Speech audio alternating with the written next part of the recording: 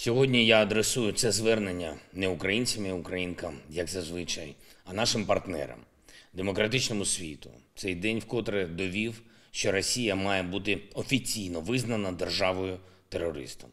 Жодна інша держава світу не являє собою такої терористичної загрози, як Росія. Жодна інша держава світу не дозволяє собі щоденно знищувати крилатими ракетами і реактивною артилерією мирні міста і звичайне людське життя. Внаслідок лише одного ракетного удару по нашому місту Вінниця убито 23 людини, троє дітей до 10 років. І це, на жаль, ще не остаточне число. Розбір завалів продовжується. У списку безвісно зниклих десятки людей. Серед госпіталізованих є важко поранені. Одна з ракет знищила медичний центр нейромед. Всередині були люди. Наталія, їй 40 років. Тетяна, їй 32 роки. Володимир, йому 61 рік.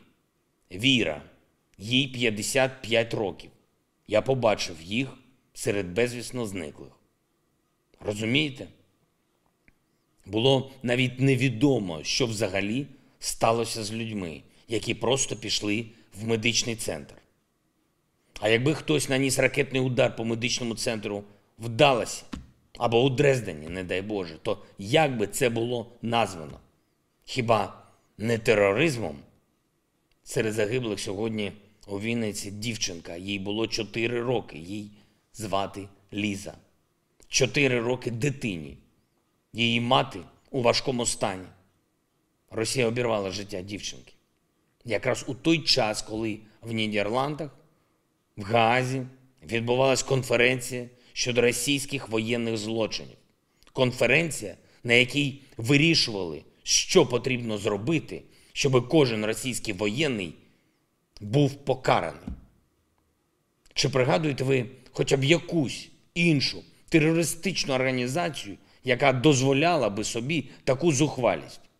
Убивати саме тоді, коли її попередні злочини є предметом міжнародного обговорення. Росія показала цим своє ставлення і до міжнародного права, і до Європи, і до усього цивілізованого світу.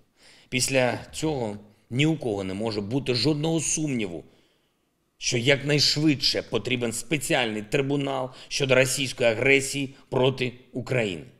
Також якнайшвидше має запрацювати спеціальний компенсаційний механізм, за допомогою якого усі російські активи і кошти в усіх країнах світу повинні бути конфісковані і направлені на відшкодування збитків жертвам російського терору.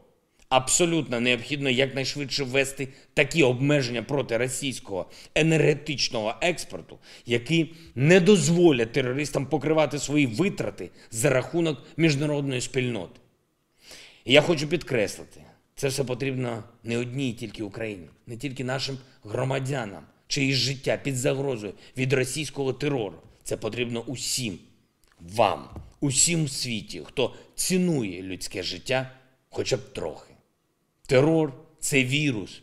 І якщо хтось з терористів залишається безкарним, це тільки заохочує інших. Сьогодні вранці у Києві відбулася церемонія нагородження наших захисників, яким присвоєно звання Герой України.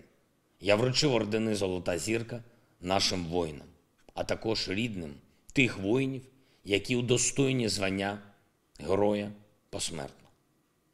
Загалом за час повномасштабної війни з 24 лютого звання Героя присвоєно 157 українцям, в тому числі 75 посмертно.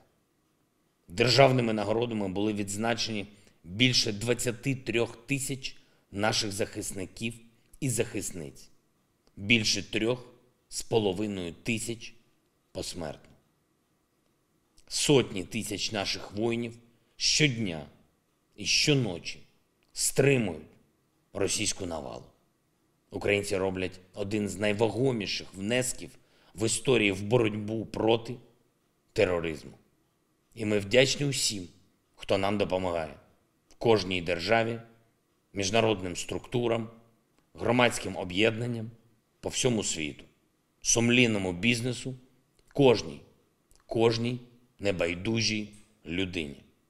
Але настав час для демократичного світу закріпити все це належними юридичними інструментами, статусом держави-терориста для Росії, спеціальним трибуналом щодо російської агресії, спеціальним компенсаційним механізмом, який направить кошти держави-терориста тим, кого вона хотіла знищити. І, звичайно, новими санкціями за терор. Нові санкції потрібні так само, якнайшвидше. І наостанок, хочу, щоб ця команда тієї посудини, з якої вилетіли калібри по Вінниці сьогодні, точно знала, що тюрма це найкраще, що їх очікує. Вічна пам'ять усім жертвам російського терору. Вічна слава кожному і кожній, хто захищає нормальне, мирне життя. Слава Україні!